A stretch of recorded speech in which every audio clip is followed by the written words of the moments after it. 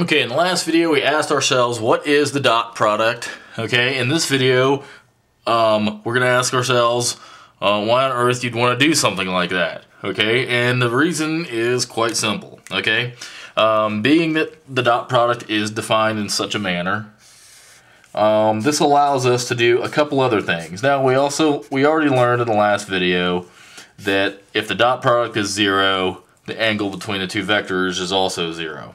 Or that, no, it's not, it's uh, 90 degrees. They're orthogonal. Okay, so let's, um, so that basically tells us the angle between the uh, two vectors, and it also uh, tells us they're perpendicular.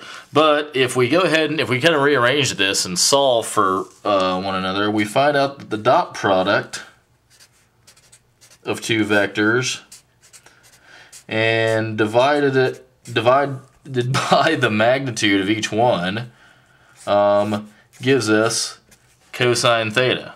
Okay, so likewise um, the inverse cosine of V dot W will give us the exact measure of of the angle right there okay so let's uh let's check this something out right here let's take vector v and I'm gonna look at an example right here in my book I'm gonna call vector v I'm to say that that is negative 3, 5. Uh, they give me a two-dimensional vector, and I'm to go, we're to make it in three space, aren't we? Okay, and let's see, W, let's make that guy um, 6, negative 2, and let's just make it regular too. Okay, so obviously, let's uh, let's go ahead and first let's compute the dot product. Okay, so V dot W is going to be equal to negative 3 times 6, which is negative 18, plus negative 2 times 5, which is negative 10, plus regular 2. Okay, so it looks like we got negative 28 plus 2, negative 26. Okay, right there. And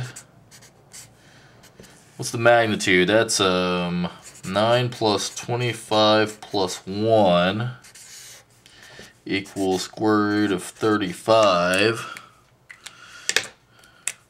Let's switch our colors right here. And magnitude of W, uh, and that looks like 36 plus 4 plus 4, which equals square root of, what, 44? Okay? Okay, so given this information, negative 26 divided by square root of 35, square root of 44, is equal to cosine theta. Okay, so that tells us, you know, that, that tells us some stuff. I mean, that we already knew, really, about the triangle, but let's find some stuff we didn't already know.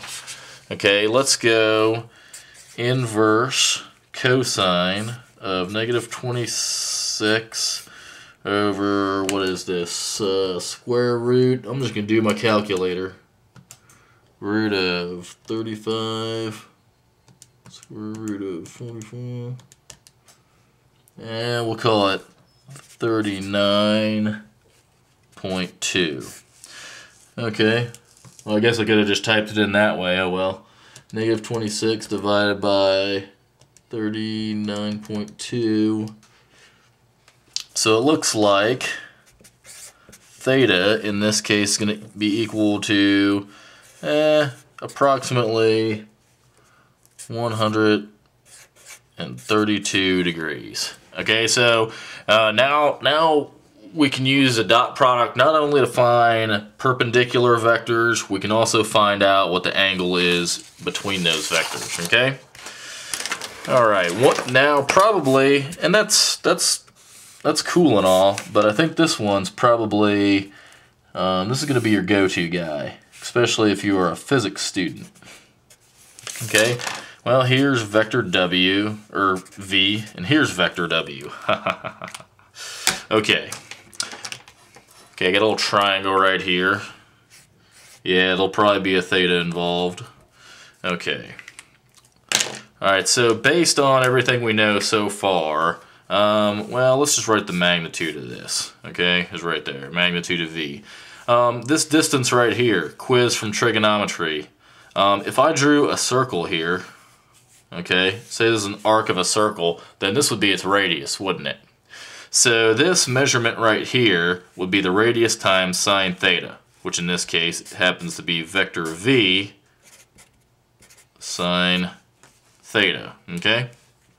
And then this distance right here, well, what's that? That is vector V cosine theta, okay? Now, um, we want to ask ourselves, what if, let's say I was applying like you know, a, a V amount of force in this in, in this direction, okay?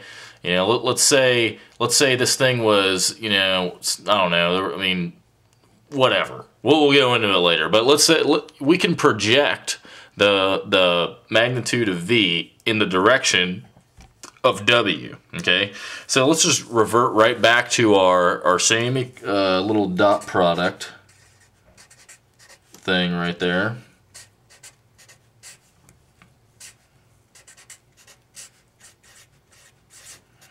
Okay, so here's dot product again. Okay, so what if I wanted, what if I wanted to find out what this was, what what this was going to be? Okay, well, or the magnitude of vector v times cosine of theta. Well, if I just solve for w, I'm going to end up with that, aren't I? Okay, so it turns out that cosine theta is equal to the dot product divided by the magnitude of the other one, okay? And sometimes they, they might label that as, they might label it a little differently. Sometimes they will write, note, the notation might be projection of V onto W. I keep writing my V's weird like that. I don't know why. It's like a twitching habit or something. Okay, so that that's kind of example of something like that. So let's um well, I don't know if I have time to make an example of it, but you know, you know how to compute the dot product. We know how to compute magnitude. Um, so you know the examples. I, I, mean, I don't really need to do a whole lot of examples of these because I'm I'm, I'm sure you know you, there's tons of them in your book. I'm just I'm just kind of explaining some of this stuff.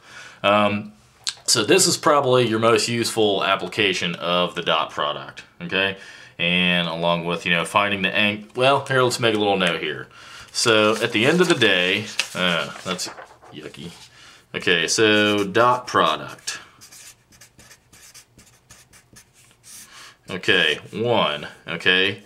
If it equals zero, then V is perpendicular to, you know, W. Number two, um, you know, we, we can use it to find angles.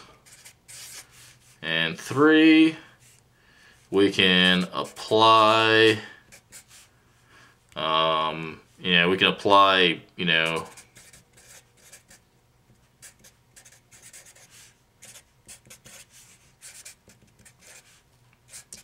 different vectors.